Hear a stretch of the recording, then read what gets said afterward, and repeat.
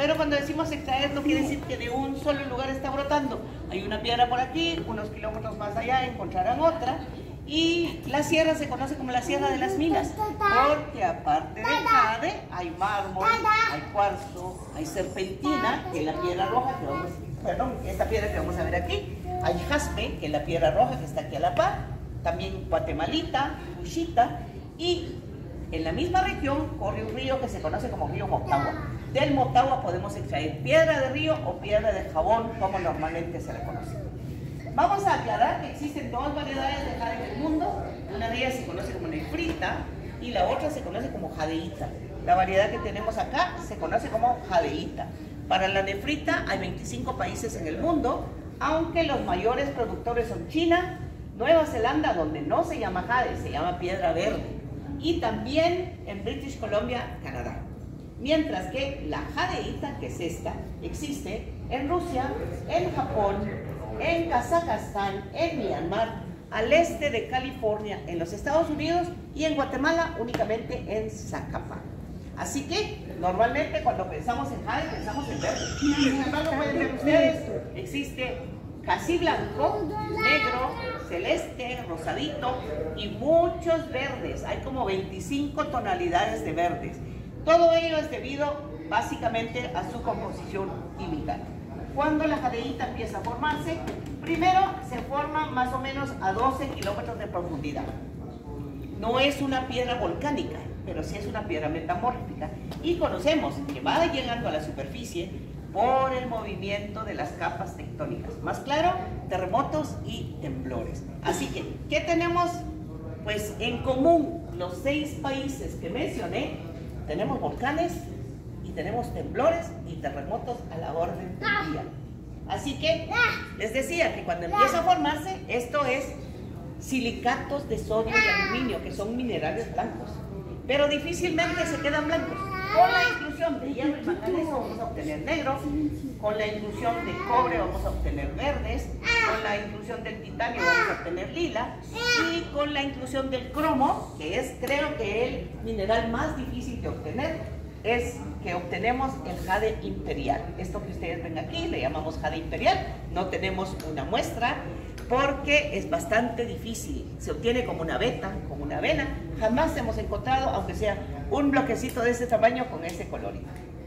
Eh, tenemos lo más reciente, el rosado, el celeste, el lila, es del más reciente descubrimiento. Se descubrió hace 25 años. Aproxímense para acá, por favor.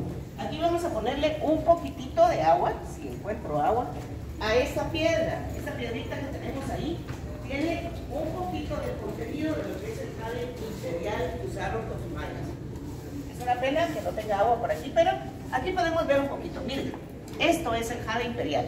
Pero el jade imperial puede ser un tono como el que vemos en el acrílico, un tono un tanto más intenso como una esmeralda, lo vamos a ver ahí adentro, o este que parece un verde menta, que también trabajado es hermosísimo. Todo lo que trabajaron los mayas, que está ahora en el Museo de Arqueología en la ciudad capital, tiene este color. Para nosotros esta piedra es una piedra muy hermosa, para los mayas tenía una connotación mística. Para los mayas el jade imperial era como la conexión entre esta vida y el cielo. Por eso mismo fue la creación de las famosas máscaras funerarias. Quizás ustedes han oído hablar de ellas. Les ponían en el rostro del rey, de la reina o del sacerdote porque los mayas creían que a la hora de morir, entre más piezas de jade llevasen consigo, pues les iba a ser más fácil acceder a la próxima vida. Los mayas creían en un cierto número de vidas, creo que 13 era la de, pues, la última vida. Entonces, para acceder a la siguiente vida, ellos creían que debían ir adornados de jade. Ahora los voy a invitar a pasar a lo que es el área del museo. En el museo vamos a ver réplicas. Ninguno de las piezas hechas en jade es original, pero las vasijas, lo que está hecho de barro, sí es original. Así que pase por favor. Nos vamos a detener un momentito por aquí para darle un vistazo al otro tono de jade imperial, que es precisamente este. Esto de aquí es el logo de la empresa. Si alguien está interesado en saber lo que significa nuestro logo, pues aquí hay una explicación. Sin embargo, lo que mostramos al fondo Esto es vidrio, pero tiene el colorido de la otra tonalidad que tiene el jade imperial. Y también las plumas del quetzal, les cuento que son de ese color. Bueno, vamos a ver el mapa que tenemos afuera. Allí vamos a ver la localización de Zacapa. Nosotros estamos localizados aquí. Zacapa está aquí. Pero aparte de eso, todo este mapa que muestra el área de México, Belice y todo el área de Centroamérica ya tiene nombres de los sitios arqueológicos en donde han encontrado algo hecho de jade. Esto significa que los olmecas, los mayas y los aztecas que vivieron en la parte central de México, lo que ahora es la Ciudad de México, es precisamente el área donde habitaron los aztecas. Por eso mismo su estadio se llama Estadio Azteca. Bueno, aquí si ustedes ven, tenemos Tuxtla, tenemos La Venta, este es un lugar muy famoso. En La Venta encontraron unas cabezas enormes, unas cabezas colosales, hechas no de jade, de piedra caliza. Eso es trabajo de los olmecas. Después tenemos todo lo que es maya. Los mayas vivieron en el área de México, Belice, Honduras y Guatemala. Los olmecas se iniciaron en México, pero fueron nómadas. Entonces, llegaron hasta la costa sur de Guatemala, después a Honduras y por último a Costa Rica. Aquí nos vamos a dar una idea de lo que es la dureza del jade. Vamos a poner a este chico a terminar la explicación. ¿Cómo te llamas? ¿Cómo se llama el bebé? Matías. Bueno, vamos a invitar a Matías que pase aquí, que no, venga a hacer la porra. Bueno, vean ustedes, esta es una piedra muy dura para trabajar el jade. Hoy tenemos que usar máquinas, electricidad, diamante, pero los mayas lo trabajaron solo al natural. Muévanse por favor para que todos puedan entrar. Esta es una piedra que en una escala que va de 0 a 10, que la escala de los minerales en realidad se llama escala de Mohs, esta escala va de 0 a 10, 10 es lo más duro que es el diamante, y es lo que se usa ahora para trabajar el mismo diamante. Pero en la época de los mayas se trabajó totalmente al natural. Fibra de maguey. ¿Saben ustedes lo que es el maguey? El maguey o el ágave, como se conoce, arena y agua, madera, hueso, también la misma piedra como instrumento de trabajo, ya fuera para darle forma o para abrir los agujeros. Les voy a contar que ahora para abrir un agujero tenemos que usar una máquina y lo mismo que el dentista usa en nuestros dientes, la broca de diamante, que en realidad se llama presa. La diferencia entre los dentistas y nosotros va a ser únicamente el grosor de la broca. Porque incluso tenemos aquí una máquina que se tiene un gran, como que fuera una, un gran tubo y eh, después ahí está atornillada la, la broca de diamante, que es lo que el dentista utiliza en nuestro diente. Pues lo mismo se utiliza acá.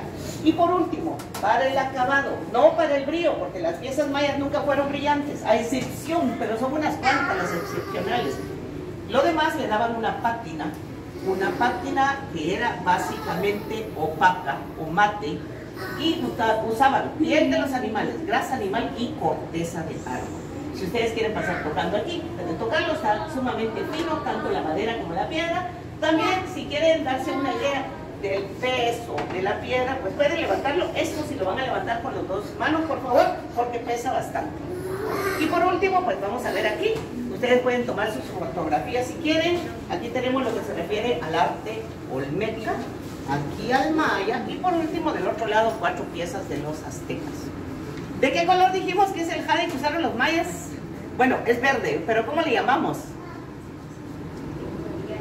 Imperial, perfecto. Bueno, ya que los mayas usaron jade imperial, los olmecas usaron un color muy particular. Si ustedes se dan cuenta, todo el contorno del museo tiene este color. Le llamamos verde azul o verde olmeca. Dentro de la tienda esto se va a presentar como jade princesa, pero en realidad es verde azul o verde olmeca. Prueba de ello que hay una figura esta figura se llama Busto Azul de Dumbarton, porque se encuentra en un lugar que se llama Dumbarton Oaks. Pero, en realidad, la pieza cuando la analizaron, al ponerle luz, tiene este colorido. Matías, Matías, Matías, el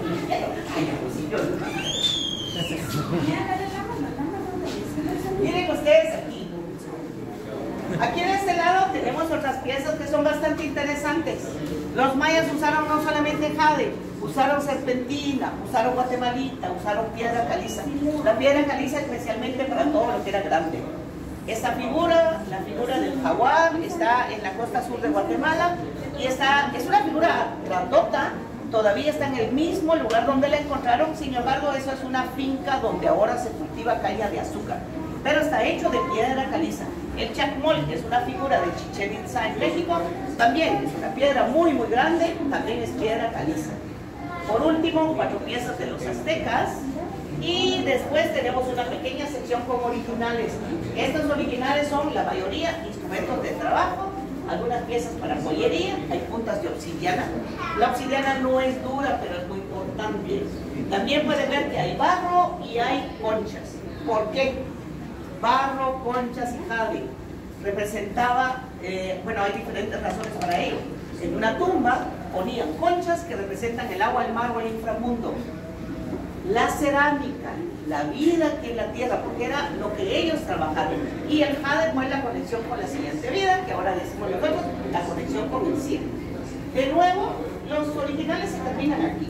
De las placas para acá son réplicas. ¿Se recuerdan que les dije que los mayas creían que entre más piezas de jade llevasen consigo a la hora de morir, y les iba a ser más fácil acceder a la próxima vida? Bueno, ejemplo de ellos este señor, Pacal, que fue un rey de Palenque en México, en la tumba de este señor encontraron 1200 piezas de jade y Un hombre muy importante, no muy poderoso, era un rey que fue rey de Palenque durante 68 años. Murió a la edad de 80, empezó a ser rey cuando tenía 12. Y entonces, prueba de ello, pues era todo lo que le pusieron consigo. Su todo esto lo usaba cuando estaba en vida, pero la máscara funeraria fue agregado después de su muerte.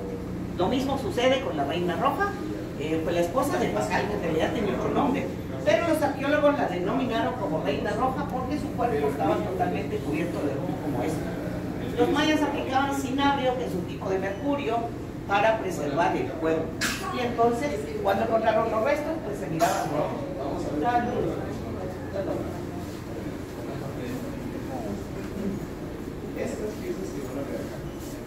Ahora, esta va a ser nuestra última parada prácticamente. Vamos a ver aquí una tumba y después vamos a dar vuelta para ver el calendario En esta tumba, pues vamos a ver lo que ya mencionamos.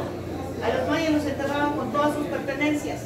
Entonces aquí vemos pues, los restos, que serían los huesos, conchas, jades, cerámica, y en particular en una tumba que se le llama la tumba 160, la cual fue encontrada debajo de la pirámide del Gran Jaguar en Chical, pues encontraron lo que a esta ahora le llamamos la máscara de Tikal, está en el Museo de Arqueología en la ciudad de Guatemala y era más o menos con este tamaño y este colorido. En esta máscara encontraron únicamente dos piezas en jade que son los aretes o las orejeras. El resto está trabajado en serpentina verde clara, que es esto precisamente. Los ojos los trabajaron en obsidiana y concha blanca y los labios lo hicieron de esta concha que se llama concha spondylus que existe desde las costas de California hasta Ecuador, pero los mayas usaron una específicamente que venía de Ecuador. Se llama concha espondylus y sirvió para hacer los labios y la ornamentación de la máscara original. Ahora, aquí vamos a ver el calendario maya, solo se voltea y nuestro calendario está dividido en 12 meses.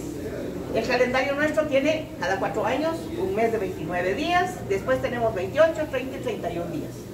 Mientras que los mayas tuvieron 19 meses, 18 de ellos tenían 20 días. ¿Cuánto es 18 por 20? ¿Alguien sabe? 18 por 2? 36. 36. Le agregamos un cero, van a ser 360 días. Y tenemos un solo mes, este. Ese mes se llama Guayeb. Guayev es el último mes y tiene cinco días únicamente. Pueden ser los días sagrados, pueden ser los días festivos, que eran para completar los 365 días del año. Al centro hay una figura que se llama Kawaktun, que quiere decir cargador del tiempo. Y por último, pues los voy a invitar a que pasemos a ver lo que es el producto terminado. Por supuesto, si ustedes quieren ver, pueden pasar a la